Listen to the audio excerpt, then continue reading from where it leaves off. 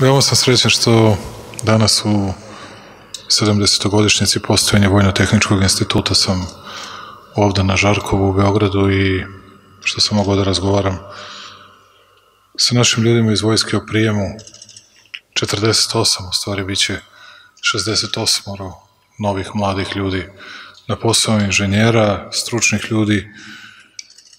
Imaćemo problema sa smenom generacije, kao što ste čuli pukovnika Pavkovića, zbog toga što nam je najveći broj ljudi trenutno do pet godina do penzije, a sada zapošljamo mlađe, ali nekako ćemo i taj generacijski jaz umeti da premostimo.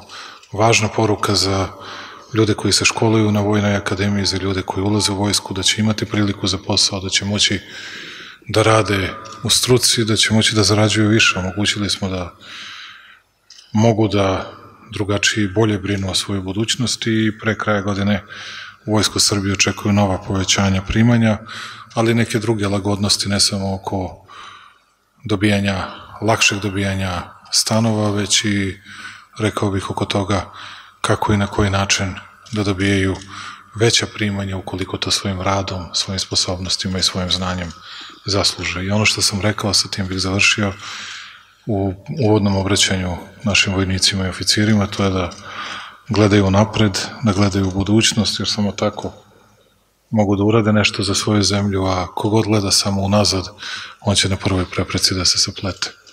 Još jedan put hvala ministru, hvala načelniku generalštava i hvala svim ljudima ovde u Vojno-tehničkom institutu na srdečnoj dobrodošlici. Ovde se nalazimo u sali kojom ja mislim u ovom delu Balkana samo mi možemo da se pohvalimo, ovde se ispituju i sve rakete i vidite ove tunele, dakle, mnogi od razvijenijih zemalja šalju na ispitivanje svoje rakete ovde kod nas, tako da ovo sad moramo da unapredimo, da uložimo više novca, ali verujem da ćemo imati dovoljno snage za to. Inače ovde je koliko Pavkovića, 36 ili 50 puta se više ulaže nego od 2005.